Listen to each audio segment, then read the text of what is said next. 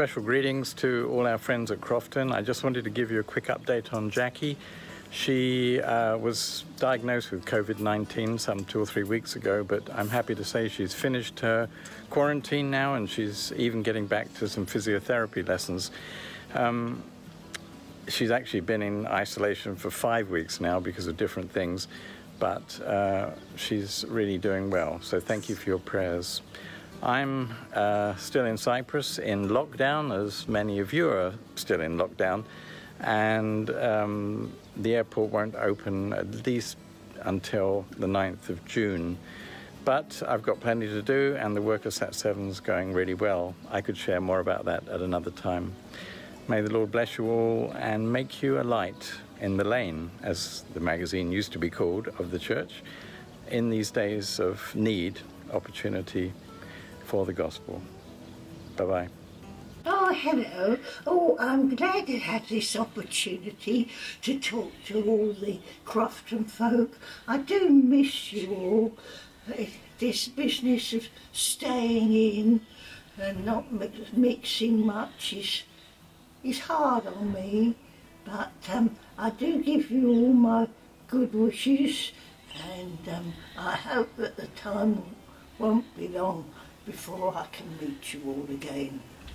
Hi everyone, good afternoon. The Adesanya is here, just uh, saying hello and how lockdown's been. Um, for me, it's just been a great time to reconnect with family, and that's been absolutely fantastic. Um, it's been really busy with work, but um, at least I don't have to commute as well on top of that.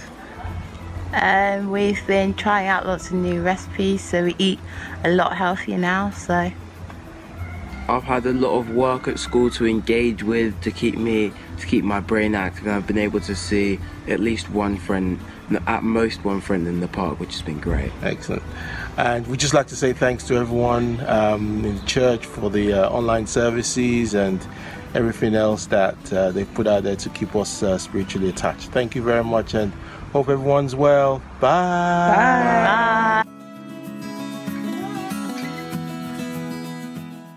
Good morning and welcome to Crofton Baptist Church. My name's Chris Munday and I'll be leading the service today. If you're one of our founding church members, such as Pam Davis, whom we've just heard from, or you've just discovered our services during lockdown, or you're somewhere in the middle, you're all very welcome to this service. It's great to be with you. During this service, we're going to pray together, we're going to worship through music, and our minister, Adrian Judd, is going to preach from the Bible as we conclude our series on Surprised by Hope. It's a series that's been giving us some really good godly footholds as we climb the steep path we're all on together at present. We'll also be thinking a little bit about what it means to have good mental health as Christians during this crisis and as schools and play schools and nursery schools all plan to go back in the next couple of weeks, we'll be praying for those of our congregation who are involved in education. Now, church wouldn't be real church without some notices. Lockdown or lockdown, there are always some notices. Firstly, if you're watching this service on a Sunday morning, then please join us for a virtual coffee via Zoom after the service. That's right, between 11.30 and 12.15 we'll be drinking coffee together via Zoom. If you can pop in for a few minutes, that'd be great. It'd be good to get to know some new people and to catch up with old friends. Um, the Zoom link that you'll need, you'll find on the news sheet that you should already have. Another way we can get together is by praying together. And so tonight at 8 o'clock, again via Zoom, will be gathering together to pray. And as we pray together, it's not only important that we do it, but it helps strengthen our faith. So, 8 o'clock tonight, and again, the link you'll need for Zoom is on the news sheet. Today, Sunday, the 31st of May, is Pentecost Sunday, when the Christian Church celebrates the arrival of God's Holy Spirit. It seems particularly poignant at the moment because one of the names given to the Holy Spirit is the Comforter. And at a time when many of us are crying out for God's comfort, how good to celebrate God's goodness here. But now it's time to begin our worship, and we're going to join the folk at Trinity Church in Gosforth singing that great hymn, Breathe on Me, Breath of God.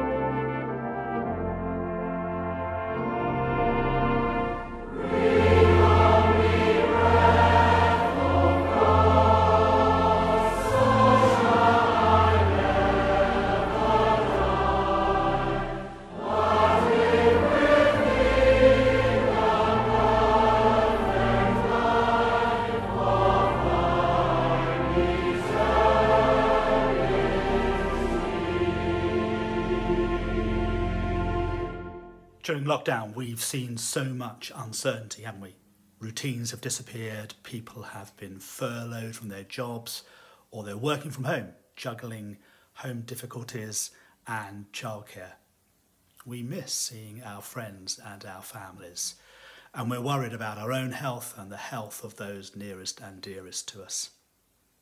And maybe we fear for the world that we are emerging into with the virus uh, still at large social distancing seemingly the norm for a long time, and a recession apparently inevitable.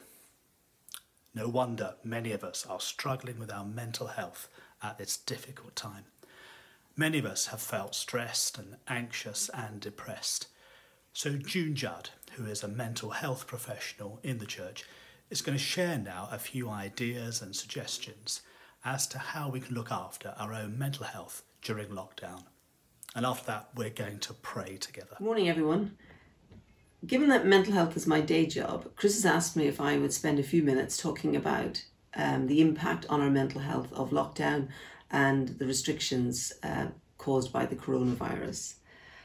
Mental health is a huge subject, obviously, so we're just going to have a, a look at a couple of the disorders that are particularly challenged by COVID 19. We're going to look at anxiety, uh, obsessional compulsive disorder and eating disorders. Um, so I'm assuming that we all have sufficient knowledge about these um, illnesses uh, not to need much by way of introduction. So let's just talk first about anxiety. As, as a mental disorder, it can result in severely diminished ability to function as we normally do. So in these days of COVID-19, what should we try to do if this is an issue for you? First of all, try and get a balance in life. Not rocket science, but maybe very difficult to do if you're very, very anxious. Every day, aim to try and find one thing that's pleasurable, something to be grateful for, and something to achieve. And try and make a note of that. Challenge yourself to make a note of that at the end of the day. Also, try to identify whether your worry is something that you do have control over or not. And if it's not, if it isn't something you can, can control, try and focus on something that is within your remit. Maybe bookmark some favorite Bible verses which just remind you of God's care and control of you and of the world. Also, practice postponing your worry. Even just by five minutes can make a difference and can make you feel a little bit more in control.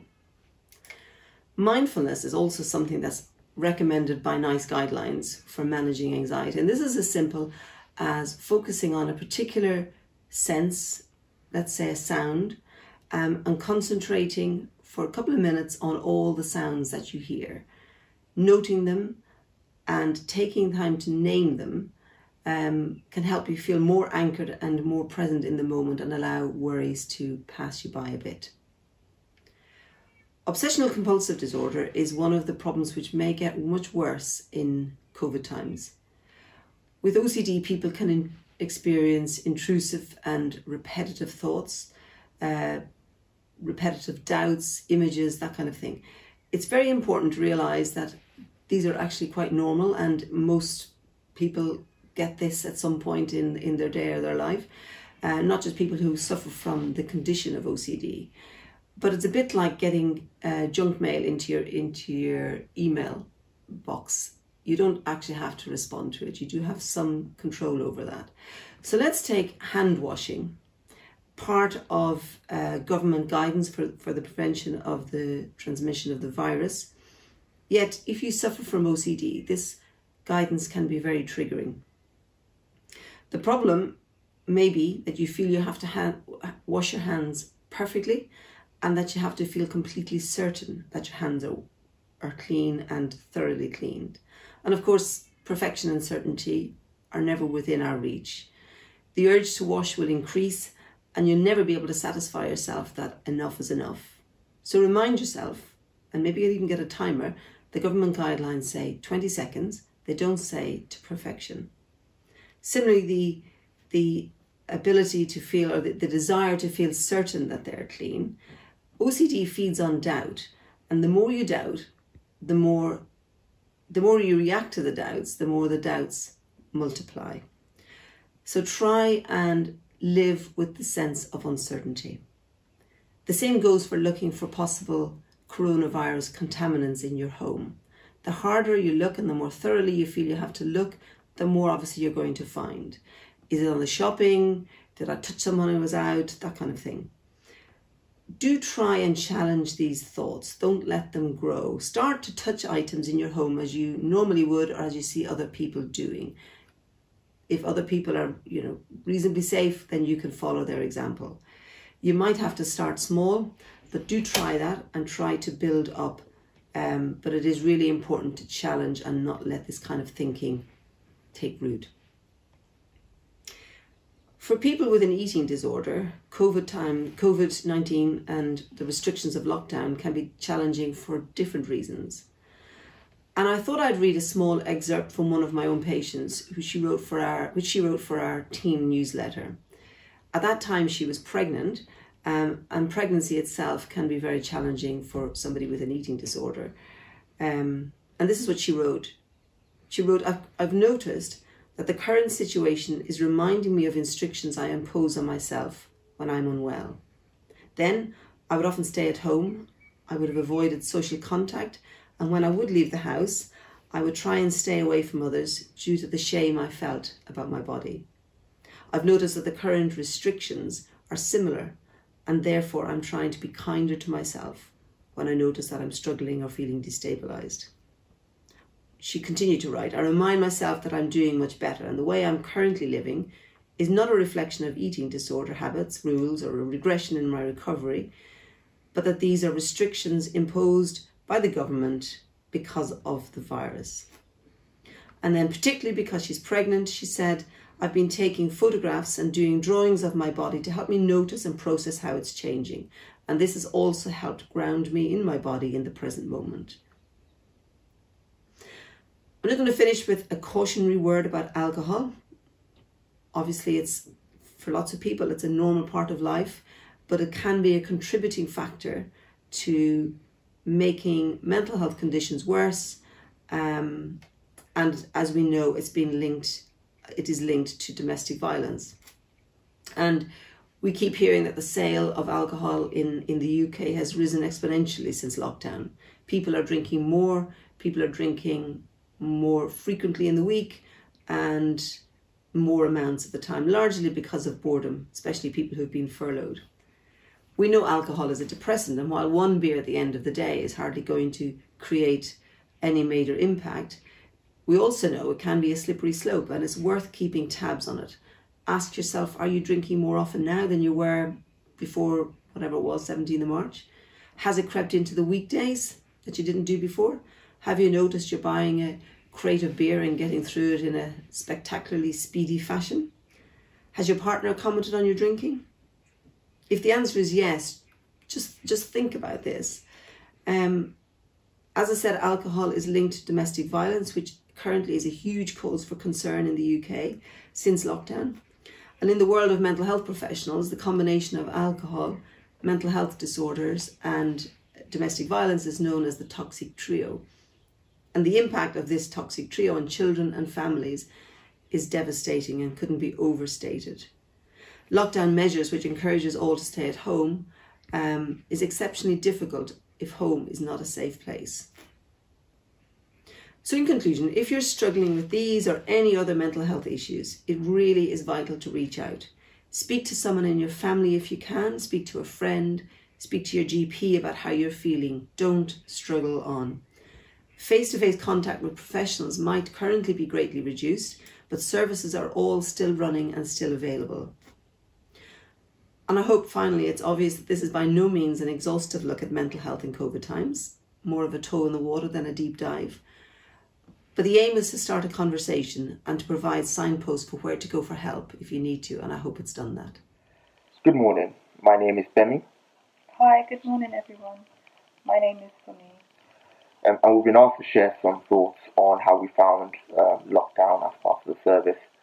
And to be honest, uh, it, some parts of it have been a bit challenging, um, especially the initial phase of settling into the lockdown, um, the sudden restriction on movement wasn't um, the easiest to come to terms with.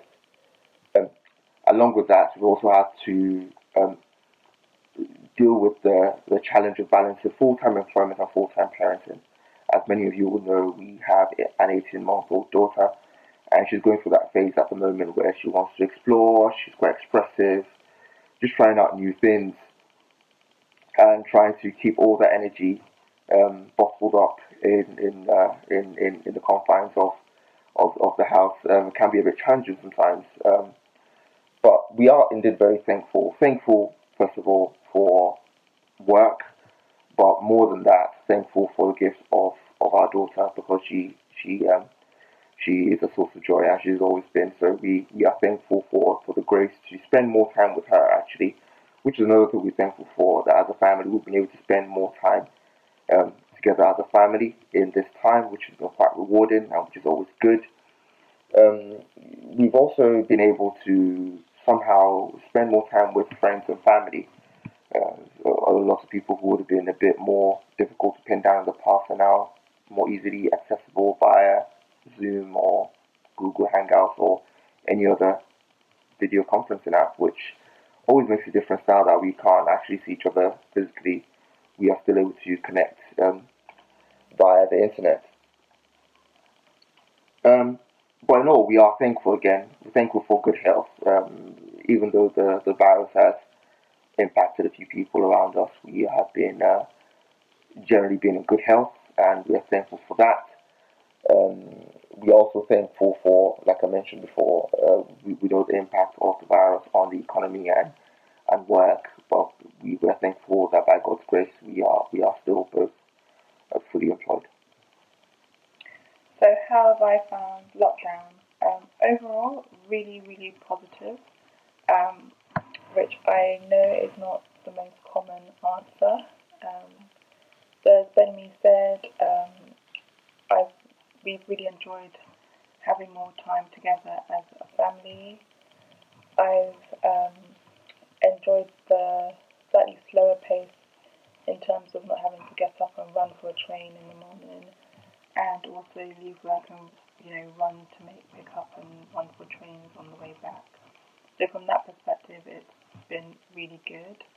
Um, but actually, what I've really enjoyed is just spending more time um, with our daughter and ourselves also um, during the daytime. Um, although that does that does and has led to some really long days because we're also working at the same time. Um, so, but you know, generally, I've yeah, I've really enjoyed it. I've I've been baking more and just um, trying to check up on friends and family um, a little more as well. Um, so that's been it's been good. It's been good. Um, at the beginning, it was really quite difficult in terms of just the sudden change to life. But um, once we settled into it and we got a rhythm, we've been able to manage this time um, well. I would say that now is another time of change and looking further afield as schools open, um, teachers go back, um, life starts to um, form into a new normal because I don't think it'll be quite like it was before. Um, you know, there are now more decisions to be made, um, and you know, another period of change. So it's really something that's heavy on my heart. Um, just thinking about childcare and you know how we operate in this time where there is this virus still out there. So I guess my prayer for um, for us as a family and for us as a church family as well is that at this time we would know God's wisdom and that we'll make the right decisions for ourselves and our families.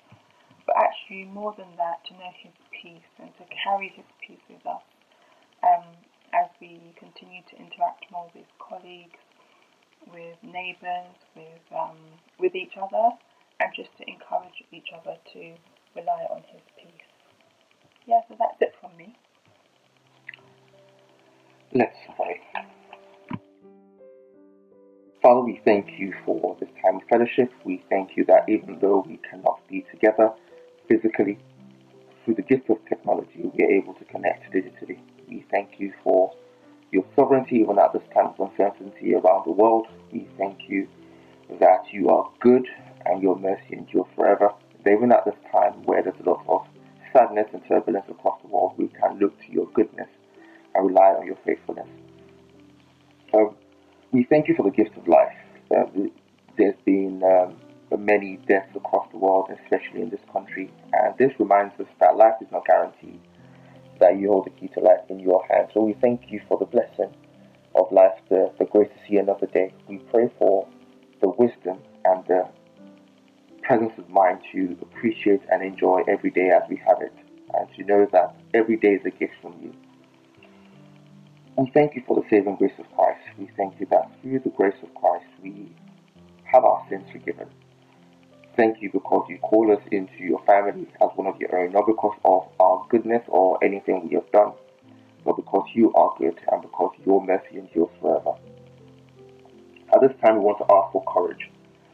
As been said, this the coming week represents uh, another period of change, so we pray for wisdom and for courage for parents, guardians, and teachers, and everyone involved in the process of looking after and caring for uh, our young children.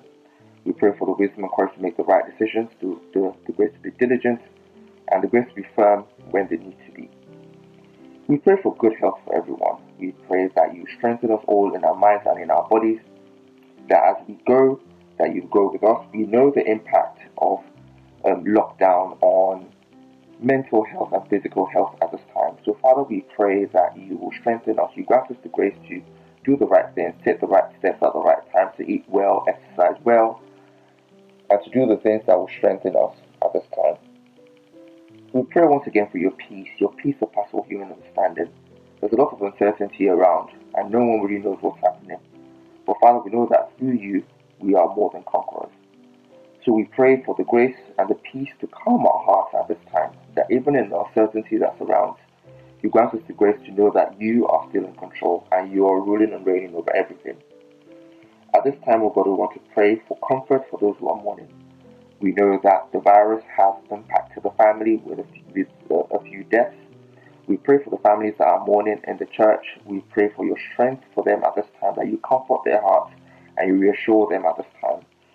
We pray for strength for the weak. We pray for those who are battling a form of weakness or another at this time. We pray that you strengthen them in all ways, that you be with them and that you guide them through this tough time. We also pray for our government. We pray for them at this time that you grant them the courage and the wisdom to make the right decisions at the right time. We pray that you will convict their hearts to do the right things and that you guide them into the path of righteousness for the benefit of the whole nation. We thank you, God, because we know that you are sovereign and you are ruling and reigning over everything. So, Father, we pray that you guide us and you protect us at this time. Grant us the grace to know that you are with us and for us in all things. Make your face to shine upon us and grant us your peace.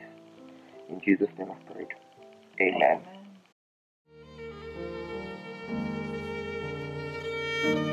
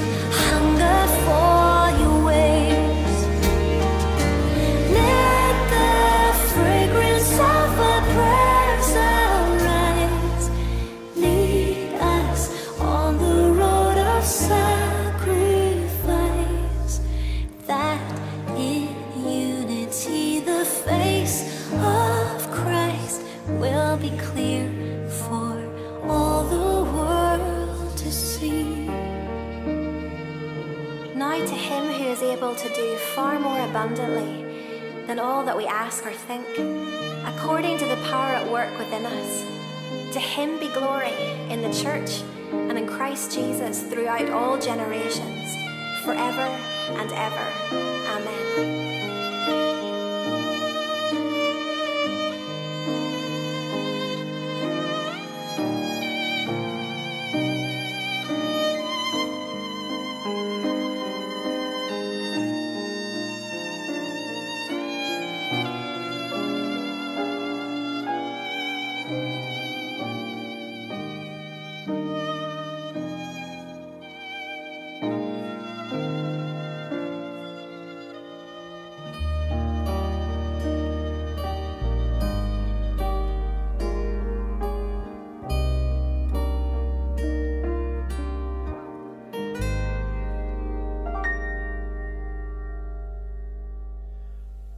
Going to hear our Bible reading now from Acts chapter 2, and then our very own Crofton Worship group will be leading us in a great song of praise and adoration as we join together to sing Behold Your God. But first, let's read the Bible together. everyone. Uh, my name is Jennifer, And I'm Simon. and this is little Annabelle. So, life during lockdown for us, how has it been? It's been busy juggling uh, daycare and work from home. Uh, it's definitely kept us a lot busier, and Annabelle's learning new things all the time. So she's definitely keeping us busy. Look how big she's grown since the last time she would have seen you all. Yeah, so she is now almost nine months, eight and a half now. Eight and a half, yeah. And uh, she, in the time, in the last two months, she has learned to sit up, she has learned to crawl, She's got her first tooth. and she is a lot more needy. um, so it's certainly been quite challenging for both of us. Um, me in particular, uh, just because um, business has been really busy. We are one of the fortunate companies who um, are uh, experiencing an increase in sales. Everybody is looking to craft and knit and crochet, so that's been really, really uh, amazing for us. Um, but at the same time, it's been a struggle trying to juggle both work and um, and looking after Annabelle here. So we're going to read uh, today uh, Acts 2 1 to 4. Um, just gonna have a look. When the day of Pentecost came, they were all together in one place. Suddenly, a sound like the blowing of a violent wind came from the heaven and filled the whole house where they were sitting. They saw what seemed to be tongues of fire that separated and came to rest on each of them. All of them were filled with the Holy Spirit and began to speak in other tongues as the Spirit enabled them. And now uh, I'll be reading uh, chapter 2 still, uh, verses 14 to 24. Then Peter stood up with the eleven, raised his voice, and addressed the crowd Fellow Jews, and all of you who live in Jerusalem, let me explain this to you. Listen carefully to what I say. These people are not drunk, as you suppose. It's only nine in the morning. No, this is what was spoken by the prophet Joel. In the last days, God says, I will pour out my spirit on all people. Your sons and daughters will prophesy. Your young men will see visions. Your old men will see will dream dreams. Even on my servants, both men and women, I will pour out my spirit in those days, and they will prophesy.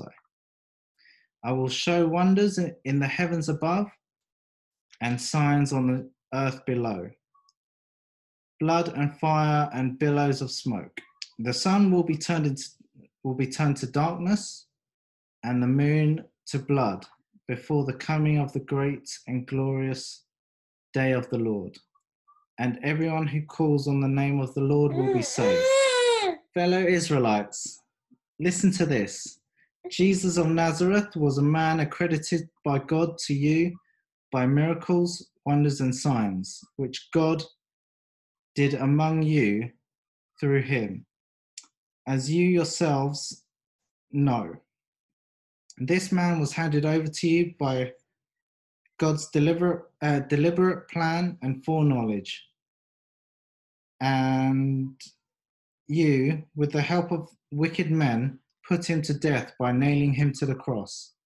But God raised him from the dead, freeing him from the agony of death, because it was impossible for death to keep its, its hold. And so now I'm going to read verse 36 to 41. Therefore, let all Israel be assured of this God has made this Jesus, whom you crucified, both Lord and Christ. When the people heard this, they were cut to the heart and said to Peter and the other apostles, Brothers, what shall we do? Peter replied, Repent and be baptized, every one of you, in the name of Jesus Christ, for the forgiveness of your sins, and you will receive the gifts of the Holy Spirit. The promise is for you and your children, and for all who are far off, for all whom the Lord our God will call. With many other words, he warned them and he pleaded with them Save yourselves from this corrupt generation. Those who accepted his message were baptized, and about 3,000 were added to their number that day.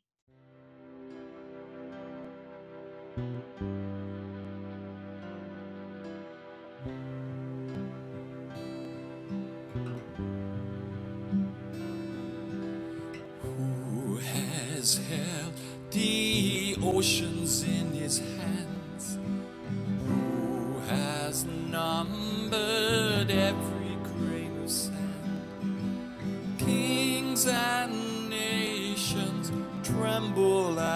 voice.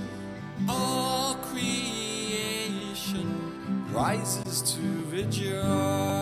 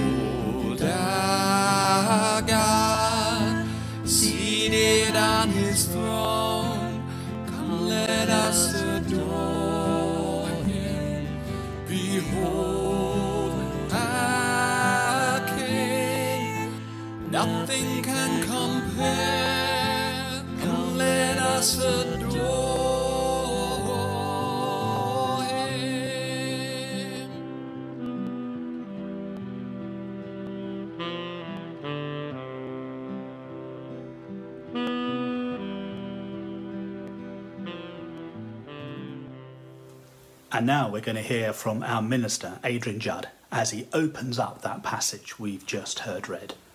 And once Adrian has preached, we're going to join together in a great song of praise Shine, Jesus, shine.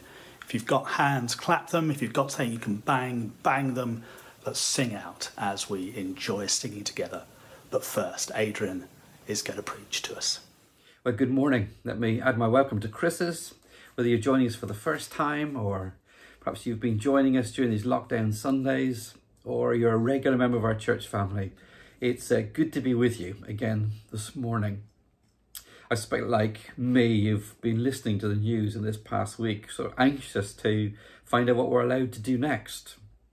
And there's a sense that we're beginning to emerge from lockdown, probably with longer hair, something that even I've managed to achieve, and possibly carrying a few more pounds in weight, which I believe is now officially described as lockdown weight. And that is something which I have definitely managed to achieve. But we find that the questions are beginning to arise of, of what now? What, what next? What, what is this post-COVID world of ours going to look like? How are we going to adapt? How are we going to live with this virus and, and what level of risk are we prepared to live with? What will our workplaces look like in future? What will commuting look like? When are we going to see our loved ones and get to spend some kind of time with them in a meaningful way? The questions are everywhere, aren't they? And clearly there are far more questions than answers. And on this Pentecost Sunday, our, our title for this morning is The Hope of the Church. And it prompts similar questions about our church family here at Crofton Baptist Church. When, when will we get to see each other again? When will we be able to meet with each other again? When will we be able to sing the praises of God together and open God's word together across the age groups? All things that I desperately miss, particularly as I find myself speaking to my tripod again on another Wednesday afternoon.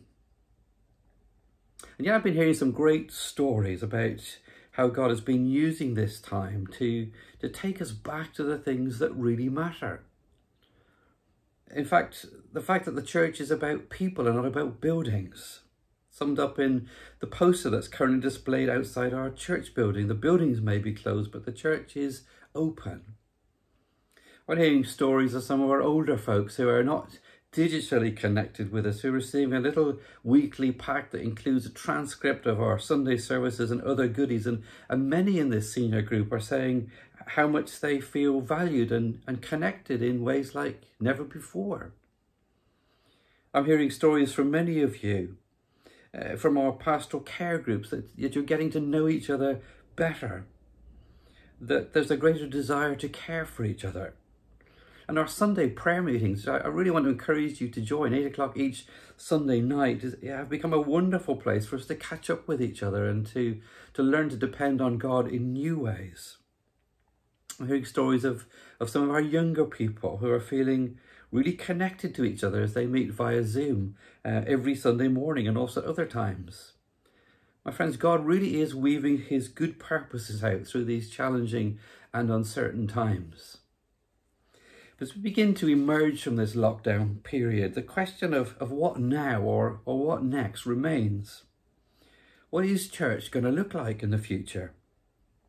How do we ensure that we do not lose the good that we have experienced as a church family in these past few months? How do we ensure that we don't just slip back or, or return to how things used to be? What is God saying to us as a church about the future? What, what kind of church is God calling us to be as we re enter this post COVID world of ours? As I have reflected uh, in the early part of this week on some of these really significant questions, I believe that some of the answers are to be found in the opening chapters of the book of Acts and to this event called Pentecost, out of which emerges God's new community. This Sunday morning teaching series has been designed to provide us with some solid ground. Some solid ground where we can place our feet when everything around us feels a little shaky and, and more than more than a little uncertain. So we've unpacked this great Christian theme of hope that is anchored to the death and to the resurrection of, of Jesus Christ, summed up in this powerful little phrase in the Lord's Prayer, your kingdom come on earth as it is in heaven. And, and Pentecost, as we're going to see this morning, is going to help us to see what that looks like. As this living hope that we've been looking at over recent Sunday mornings becomes tangible and, and becomes visible as God's new community begins to emerge from their time of waiting behind closed doors. Coupled with uh, the promise of Jesus' physical earthly return comes in chapter 1 and verse 8 of the book of Acts, uh, Jesus' last recorded words, this wonderful promise, you will receive power when the Holy Spirit comes on you. And then just a few verses later, it happens. On the day of Pentecost, writes Luke, all the believers were together in one place and, and everyone present was filled with the Holy Spirit and began speaking in other languages as the Holy Spirit gave them ability. And by the end of this very same chapter, we start to see how Jesus' kingdom prayer is being answered. We get to see glimpses of the new creation that we were thinking about last Sunday morning. The, the old is gone, the new has come. We start to see the beginning of God putting all things right again. We start to see what this living hope really looks like as this new community of God's people begins to emerge from their lockdown and begin to spread out onto the streets of Jerusalem. And there's some really striking parallels for us to pick up on this morning that, that I sense will resonate with the circumstances that we find ourselves in as God's people today. Because as we make our way back into our society and our communities and, and our workplaces and our families, I believe we, we get a real sense in these verses of the kind of church and the kind of people that God is calling us to be. There's really only one central teaching point this morning, and here it is. I want you to notice it with me as we come to the end of Acts chapter 2 that, that the hope of the church is made visible through God's new community. It's worth repeating, really. The hope of the church is made visible through God's new community. One of the things that we've been learning from God's big story that runs right through the Bible from beginning to end is that God is bringing together a new kind of community. Over and over again through the pages of scripture, we read these words, I will be their God and they will be my people. And as people begin to put their faith in the living Jesus at the end of Peter's Pentecost sermon, uh, they began to welcome the person of the Holy Spirit into their lives, a wonderful new kind of community begins to emerge that was marked by some really powerful characteristics that are worth noting this morning. There was a boldness to speak about Jesus. That's one of the things you detect between the beginning of this chapter and the end of this chapter. Confined to one room at the beginning and spilling out onto the streets of Jerusalem as the chapter develops there's a spiritual hunger for more of God. You'll pick that up in, in verse 42, where Luke tells us that they devoted themselves to the apostles' teaching. It was as if they couldn't get enough of God. That's what happens when the Spirit of God's at work. People get hungry for God and His Word. They, they want to go deeper. There is a new desire to pray together, also in verse 42 one of the th lovely things that, that we're detecting in our own church family at the moment, a greater desire to pray together. We know that the Holy Spirit helps us in our prayers. He prompts us when we don't quite know what to pray or, or how to pray. Again, in verse 45, there's a, there's a willingness to give generously. Another wonderful characteristic of this new community. As someone has put it, they found their purses opening as wide as their hearts, as the generous and free Spirit of God falls upon these men and women, transforming their selfish hearts and their instincts and, and meeting the financial needs of this emerging church where everyone was involved in giving generously to the work of God. There's another lovely characteristic in verse 46. There is a, a longing to share, sharing what they had with each other so that no one was in need, a kind of open hospitality, a, a very attractive mark of the Spirit's presence, people wanting to spend time with each other, ensuring that people were included and, and not left out. And then another lovely characteristic, there was a, a new sense of belonging. You can't get away from the sense of togetherness that the Spirit brings, a sense of being in it together, pulling together, back to this sense of unity that the Holy Spirit brings. Well, friends, that the hope of the church is made visible through people like you and me, through God's new community. And at the end of Acts chapter 2, Luke gives us a snapshot of what it looks like, what it feels like.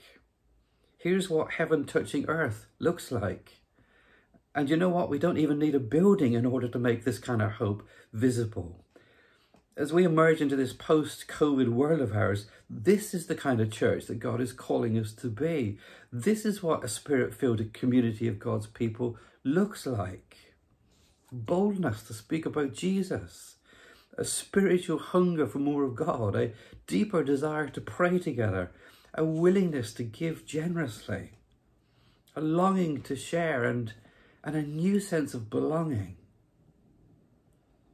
But here's the intriguing question. What is it that happens between the start of this chapter and the end of this chapter that results in this new and emerging community of God's new resurrection people that results in thousands of people being added to the church? What is it that enables Luke to write that everyone was filled with awe? What was so attractive about this new kind of community that leads Luke to write that they enjoy the favour of all the people around them? For me, the answer to that question is found in two deeply interwoven experiences that you will find at the very heart of this chapter. Peter captures those experiences for us at the end of his Pentecost sermon in verses 38 and 39 where those who have been listening were deeply convicted, looked as they were cut to the heart, more literally crushed by the content of Peter's message about Jesus Christ. And the, the inevitable question follows in verse 37, what, what must we do? And Peter replies in verses 37 and 38, be baptized, every one of you, in the name of Jesus Christ for the forgiveness of your sins, and you will receive the gift of the Holy Spirit. This promise is for you and your children, and for all who are far off, and for all whom the Lord our God will call. My friends, here's the answer to our question of what happens between the start of this chapter and the end of this chapter. Here's the turning point that enables us to see how you and I can become the kind of church that God is calling us to be as we too begin to emerge into a new kind of society. Two things that fall out of this turning point of Acts chapter 2. And the first is this, that the belonging to God's new community involves a personal encounter with Jesus Christ. As Peter, this this fisherman from Galilee stands up in front of this huge crowd and under the inspiration of the Holy Spirit begins to tell them all about Jesus. As this new community of God's people begin to spill out onto the streets of Jerusalem for the very first time, Peter wants both them and us to see that, that this hope of salvation that he is about to announce is found only in Jesus Christ. Verses 22 to 24 are a bit like a mini alpha course as Peter explains who Jesus is and, and why he came and, and what it means to follow him. You can pick that up in verse 22 where Peter deals with the identity of Jesus. Listen to this. This Jesus of Nazareth was a man accredited by God to you by miracles and wonders and signs which God did among you through him as you yourselves know. And in verses 23 and 24, Peter goes on to deal with the death and the resurrection of Jesus. This, this man was handed over to you by God's set purpose and foreknowledge, and, and you, with the help of wicked men, put him to death by nailing him on a cross. But God raised him from the agony of death because it was impossible for death to keep its hold on him. And then down in verse 36, if you've got a Bible and you're following this passage with me, Peter, uh, after unpacking a little more of the Old Testament, he shows them how the whole of the Old Testament points to Jesus. And he brings this powerful Pentecost sermon to a close with these words. Therefore, let all Israel be assured of this. This God, uh, God has made this Jesus, rather, whom you crucified, both Lord and Christ. And we've seen already, haven't we, that Luke tells us that when the people heard this, they were cut to the heart. As they came face to face with the person of Jesus Christ, they were deeply convicted. What shall we do? Which leads to this lovely and gentle invitation and promise that lies at the very heart of the Christian faith. This invitation that leads to new creation this invitation that, that, that, that, that invites us to be part of God putting all things right again, this invitation to become the answer to Jesus' kingdom prayer for God's will to be done on earth as it is in heaven. An invitation to become part of the new community of God's people that emerges at the end of this remarkable chapter. Here, my friends, is how we get to encounter the risen Christ. And here's how we find our way into this new kind of community that is being described at the end of this chapter and the community that God calls us to be. Peter replied, Each of you must repent of your sins and turn to God and be baptized in the name of Jesus Christ for the forgiveness of your sins. Then you will receive the gift of the Holy Spirit. This promise is to you and to your children and to those who are far away and to all who have been called by the Lord our God. My friends, the Holy Spirit is the one who makes Jesus real to us. The Holy Spirit is the one who opens our spiritual eyes. The Holy, it's the Holy Spirit who brings this Pentecost crowd to their knees in repentance and faith. It's the Holy Spirit who brings us from death to life spiritually in a powerful act of new creation. The old has gone, the new has come. Becoming the kind of church that God calls us to be involves a personal encounter with Jesus Christ. And secondly, it includes a profound encounter with the Holy Spirit. Way back in the pages of the Old Testament, the book of Jeremiah, God gave his people a wonderful promise that he was going to do a new thing. A promise that was fulfilled on the day of Pentecost. Comes from Jeremiah chapter 31. The time is coming, declares the Lord, when I will make a new covenant with the house of Israel and with the house of Judah. It would not be like the covenant I made with their forefathers. I will put my law in their minds and write it in their hearts. I will be their God, and they will be my people. I will forgive their wickedness and remember their sins no more. In the Old Testament, Pentecost was a harvest festival. But by the time of Jesus, it had also become associated with the giving of the Ten Commandments. But as the prophets of the Old Testament had made clear, the laws that God had given had failed to change the world because it had failed to change people's hearts. Something new was required, something deeper, something much more profound and, and powerful, an experience that was going to change people from the inside out. And, and Luke, struggling for words at the, at the start of Acts chapter 2, is, is trying to describe what he sees and, and can only make comparisons. So he writes in, in verse 2 that, that what he sees and, and what they experienced sounded like the rushing of a mighty wind. It looked like tongues of fire. But it is the impact of what follows that Luke is drawing our attention to.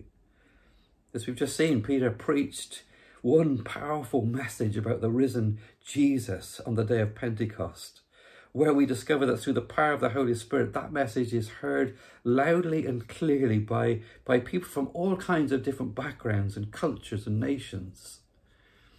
It was so intriguing that we read in verse 7 utterly amazed, they asked, Are not all these men who are speaking Galileans? How is it then that each of us hears them in our own native language? My friends, here is the true power of Pentecost. And as you read through the book of Acts, you discover that it is this one message about Jesus that, that produces one church through the power of the Holy Spirit as the gospel message begins to break down barriers between cultures and races and backgrounds and gender. It is all part of God's coming kingdom on earth. It's the start of God putting all things right again promise. It's the beginning of the answer to Jesus' prayer in John chapter 17, where he prays for the unity of his church and his followers. Here's what he prays. In the words of Jesus himself, I pray also for those who believe in me through their message, that all of them may be one, just as you and me are in me and I am in you. May they be brought to complete unity. And here's the reason why to let the world know that you sent me and have loved them, even as you have loved me. And as you follow that prayer of Jesus for unity through the events of Pentecost and through the pages of the New Testament and, and into the book of Revelation, where ultimately we find one multitude that comprises of God's new community from every tribe and every nation and every race and background, all gathered around the throne of God in worship. And it is the work of the Holy Spirit in our lives in the here and now that allows us to glimpse those new creation moments. The Holy Spirit won't always speak to us as boldly and as loudly as, as he did on the day of Pentecost. Sometimes it will be a gentle whisper. Sometimes it will come like a, like a breath of wind. Sometimes like a gentle nudge. But those experiences are, are there to help us to enjoy those heaven touching earth moments, to taste those moments where God's will is done on earth as it is in heaven. The same Holy Spirit that both enables us and empowers us to become the kind of church that God longs for us to be. It is the Holy Spirit who brings both hope and power to this new and emerging community of God's people. My friends, I don't know what church is going to look like in these coming months, but I do know the kind of church that God is calling us to be. And I am convinced that this living hope is made visible through God's new community. And as the disciples of Jesus emerged from their own experience of lockdown and, and spilt out onto the streets of Jerusalem, a new chapter began. There was no going back. The old had gone, the new had come. Perhaps that's how some of us feel this morning. The, the old has gone. The old way of, of doing church has completely and utterly changed. There's great uncertainty and even a certain amount of fear in terms of how we can meet together again.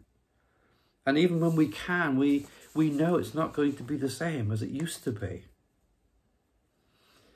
But as you and I begin to emerge from this period of lockdown with all of its unknowns and all of its uncertainties and, and all of its challenges and, and all of its fears, Pentecost Sunday is a powerful reminder of the hope of the church that Jesus himself promised. I will build my church, and the gates of hell will not prevail against it. My friends, God's plan for his church will not be thwarted by this corona pandemic. In fact, history has shown us that God's church grows even deeper and sometimes even faster in times of crisis. Some of the emerging figures suggest that more people than ever in the UK are tuning into online services. That one in four people in our country have turned to prayer during this period of crisis.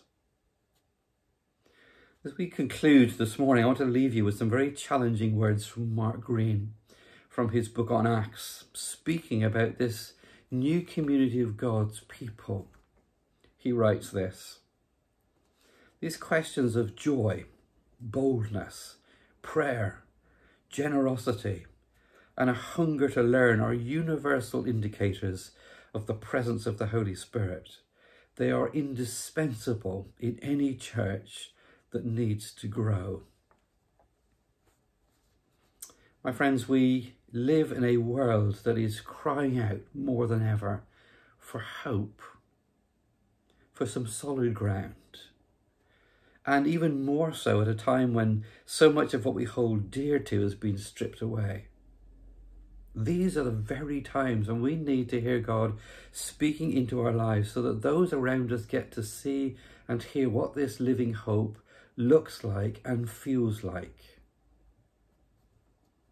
The hope of the church is made visible through God's new community, through people like you and me, through people like you and me as we head out into another week to face the challenges and the twists and turns of, a, of an uncertain week. Through people like you and me, through a personal encounter with Jesus, through a profound experience of the Holy Spirit.